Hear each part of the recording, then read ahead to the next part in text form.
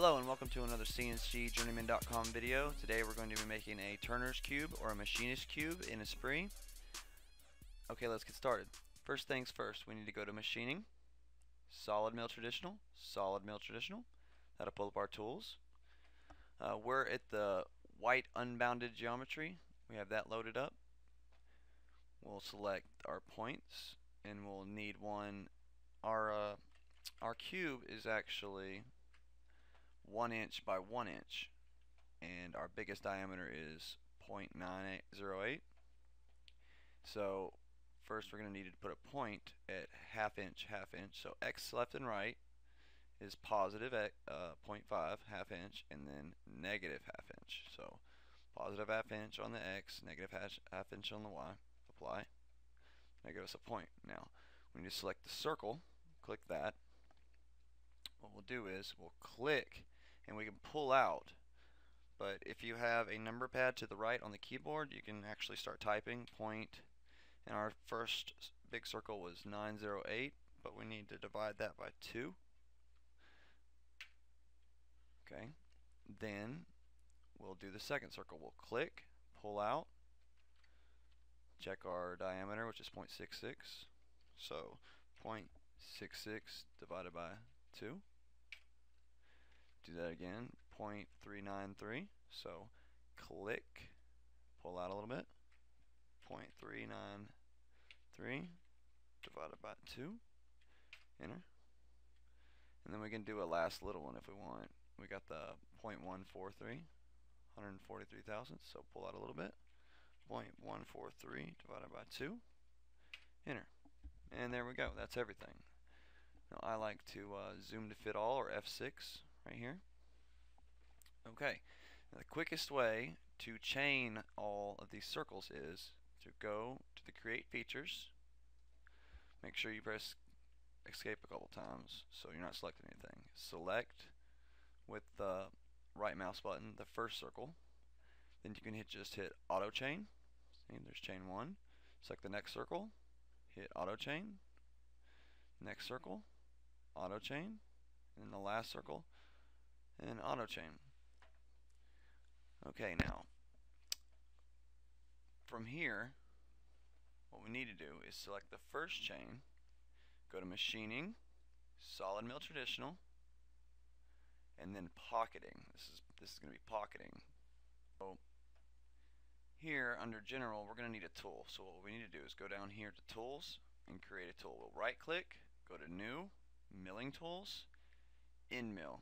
Now our machinist cube was center drilled on all six sides and then quarter inch drilled all the way through three times which made all six sides drilled all the way through.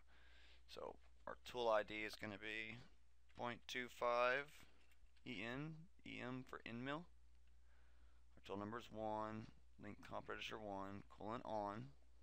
Now center direction needs to be clockwise Initial clearance 2 inch. Simulation cut color doesn't matter. You can pick whatever you want. We'll pick uh, blue. Now, tool material. Which, uh, that doesn't matter. Okay, all these are good. Go down to holder. And our holder diameter is 0.811. Our overall length is 2.8 and then our tool length is 1.082 these are just my dimensions. Yours may vary. I go down to the shank. And we have a cylindrical shank. Our shank diameter is 0.251 and tool length is from earlier. And the cutting length is 0.6 on the money. Now let's go to the cutter. Um, and this needs to be changed to 2.251. Our cutting length is 6 on the money. We actually have four flutes, which for the aluminum, it's uh, it needs to be two flutes, but you know we like our four flutes.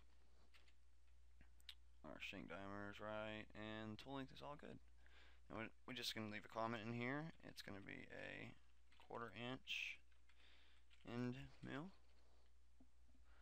Okay, now we need to drag that up to the first slot, which is actually the only slot, and then go back to solid mill pocketing and select our tool that we just made. Okay. Now, I general. Everything looks right. Strategy. Okay, so the first, this is the first circle. This is where we'll put the total depth from zero down. So we'll look at our chart. Total depth is 0.147. So we'll go back here. 0.147. Incremental depth, it, depth is every pass, and we just take off 10 thousandths. Starting depth is, uh, depth is zero, you know, the top of the part. And we'll do a full clearance. There's a full clearance. And then our incremental depth needs to be constant. Everything looks good. Let's go to pocketing. see, read taper from feature, yes. Let's go down to roughing. Okay, here we go. So mine was 700 and that makes that 46. Our feed rate can actually be, ours is aluminum, so I mean all the way up to like 2.5. And then our Z down feed rate, that was a pretty good at uh, 0.1, just so when it plunges, I mean, if you didn't drill, center drill, and uh, end mill the center out when it goes to come down and plunge, you know, you want kind of want to plunge real slow. But besides that, our cutting strategy is climb. Our step over percentage diameter, that looks good. Stock allowance for walls, zero, it doesn't matter. Now our entry mode is plunge at point.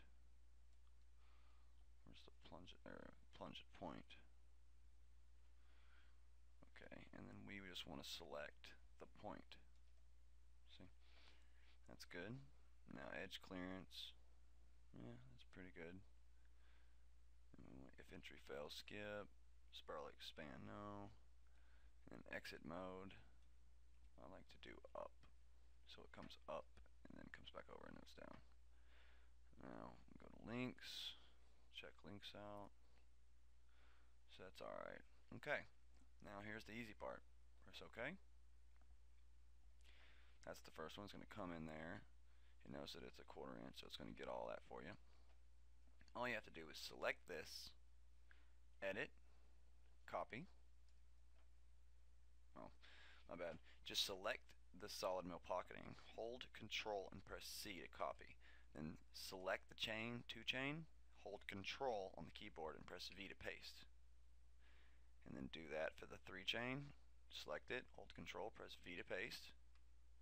Four chain, select it, hold control, press V to paste. Now we need to go into each one of these solid mill pocketings. Doesn't seem to work. Hmm. Oh, it's already too small. We didn't really need four chain. That's just in case you didn't, but if you didn't um, center drill and uh, drill it down, so we'll just delete that chain. It doesn't matter. So we'll go to the second chain. Now, on this one, we just need to go back up to strategy. See, we got total depth here and incremental depth and starting depth. So our starting depth for the second feature needs to be the last total depth. So starting depth should be 0.147 and then our total depth should be the new depth of 0.243. 0.243 incremental depth still 10 thousandths and we're good on that. Now then we go to three chain solid mill pocketing and do the same thing. Our starting depth is going to be the last one, which is 0.243. 243. And then our total depth needs to be uh, the new one, which is 0.347. 0.347. And our incremental depth is still 10 thousandths. Okay, and that's how you do that. And we can put it into a, a symmetric view. See, we do the outer, then the inner, then the small. Okay, now if you want to, you can set up a, if you want to, you can click this little button right here, common machining. And then click setup.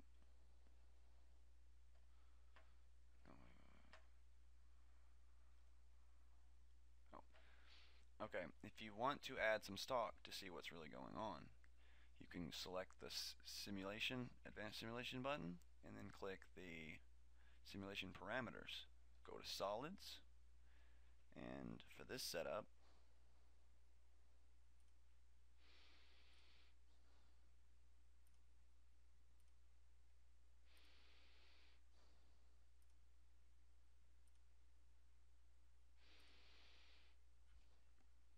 Okay, so we need for this setup we need type stock, create from block, our length, width, and height is all one inch. So one, one, one. Now, the start Y needs to be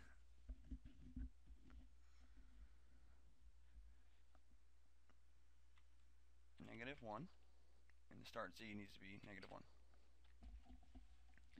and then we can hit add and OK. Now then when we run it, everything should be good.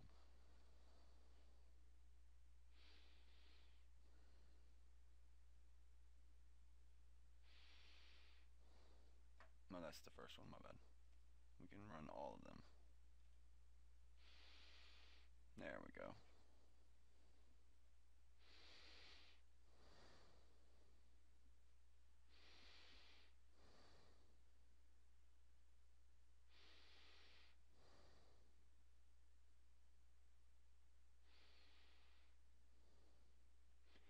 And all you had to do is make sure that the cube is one inch or whatever it is squared. That way you can just